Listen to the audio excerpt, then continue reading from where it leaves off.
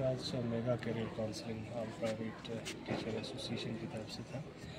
तो बच्चों में किस तरह के चेंजेस लाने की ज़रूरत है और क्या मकसद था सर इस programme thank you so much Musa साहब। आज जो है ऑल प्राइवेट स्कूल एसोसिएशन में का फ़र्स्ट जो है कि मेरा, मेगा कैरियर काउंसलिंग जो है वो यहाँ पे ऑर्गेनाइज किया जा रहा है।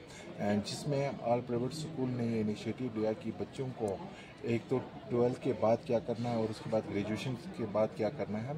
सबसे इंडिया के सबसे प्रीस्टिशियस एग्ज़ाम्स जो कि एक एंट्रेंस एग्ज़ाम्स होता है लास्ट में जो आपकी सिविल सर्विस एक्सपीरियंट है, उनको कैसे एंट्री होना है, किस तरह से तैयारी करना है, इन बेस को लेके हमने यहाँ पे मेगा कैरियर काउंसलिंग रखा, जिसमें हमने मॉर्निंग सेशन में जो एक खान साहब जो दिया आई के मैनेजिंग डायरेक्टर है, वो खुद यहाँ पे आया है और एज ए फैकल्टी भी है वहाँ पर तो उन्होंने पहला सेशन जो हमारे और आपके पास जो है सिविल सर्विस को तैयारी करने के लिए क्या अप्रोच होना चाहिए?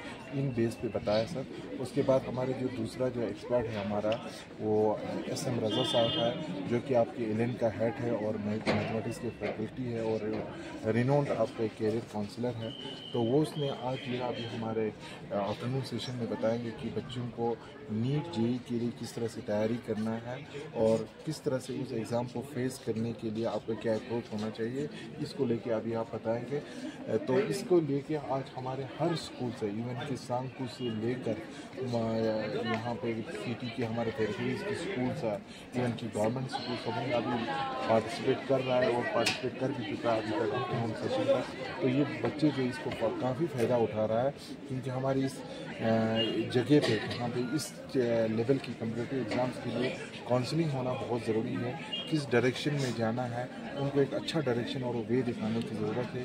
इसीलिए आज ऑल प्राइवेट स्कूल एसोसिएशन ने ये स्टेप लिया है और इन रहमान इससे बच्चे जो है इस्तेफादा उठाएँगे और इन हम आने वाले टाइम में भी ऑल प्राइवेट स्कूल एसोसिएशन इस तरह की जो इवेंट जो है हम ऑर्गेनाइज करेंगे शुक्रिया थैंक यू सर सर मेरा नाम जहीर अब्बास है और मैं सुरू पब्लिक स्कूल से हूँ।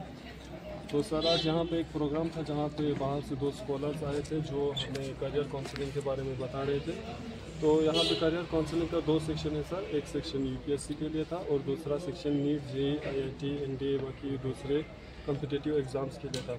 तो पहले सेक्शन अभी जस्ट कंप्लीट हुआ है और पहले सेक्शन में यूपीएससी के बारे में बोला था। यूपीएससी मतलब क्या है वहाँ पे जाने के लिए क्या करना चाहिए उन सब के बारे में बोला।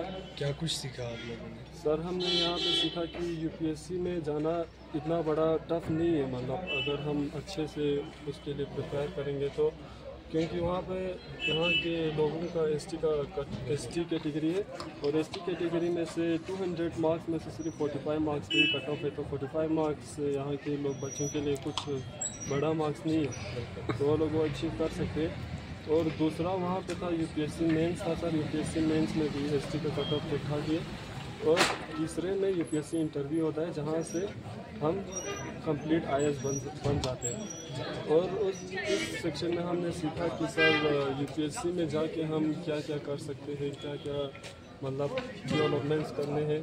यूपीएससी में सर बहुत सारे फेसेस है, जैसे कि आईएएस है आईपीएस है आईआरएस है और दूसरे भी बहुत हैं। तो सर यूपीएससी में जाने के लिए यहाँ पे हमें सर ने बताया कि एनसीईआरटी सबसे इम्पोर्टेंट है। एन सी आर टी में sir three hundred N C R T books है। Three hundred N C R T books में से यहाँ पे उन्होंने thirty N C R T books को सिलेक्ट किए हैं, जिनको पढ़ के हम लोग कर सकते हैं।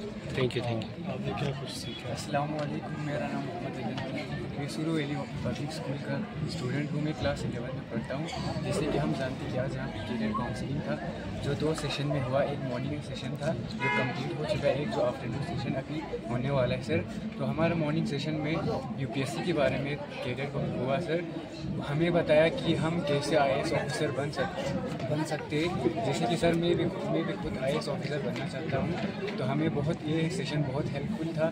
बाहर से भी एक्सपर्ट आए थे और उन लोगों ने अच्छे से, बहुत अच्छे से काउंसलिंग किया। उन लोगों ने हमें हमें बताया कि हम सोचते कि यू एक बहुत ही टफ एग्ज़ाम है, लेकिन उन लोगों ने बताया कि ये एक मिथ है। ऐसा नहीं कोई भी इस एग्ज़ाम को क्रैक कर सकता है ईजीली अगर वो हार्ड वर्क और डेडिकेशन के साथ अपना जो भी तैयारी करेगा तो वो क्रैक कर सकता है। तो हमें ये आज का जो कैरियर काउंसलिंग बहुत ही अच्छा लगा। और प्रिपरेशन के बारे में प्रिपरेशन के बारे में क्या बहुत कुछ बताया कि हम कैसे हमें क्लास टेन के बाद ही अपना अपने लेवल पे प्रिपरेशन स्टार्ट कर देना चाहिए ग्रेजुएशन तक। उसके बाद होता है हमारा यूपीएससी का एग्ज़ाम और हमें ये भी बताया कि यूपीएससी का एग्ज़ाम कितने सेट्स होते हैं, पहले प्रीलियम्स फिर मेंस फिर इंटरव्यू तो हमारा, हम जैसे हम एस टी भी एस टी से एस टी एस टी से ब्लॉक बिलोंग करते हैं तो हमारे लिए ठीक ठाक कट ऑफ़ है सर तो हमें जैसे जर्नल वालों को ज़्यादा मेहनत करनी पड़ती है, उसके लेवल उसके हिसाब से हमें जो है एस टी वालों को कम मेहनत करनी पड़ती है और हमारा जो है इजीली एक सिलेक्शन हो जाएगा तो और बहुत ही अच्छा लगा ये सेशन आज का हमें। Thank you sir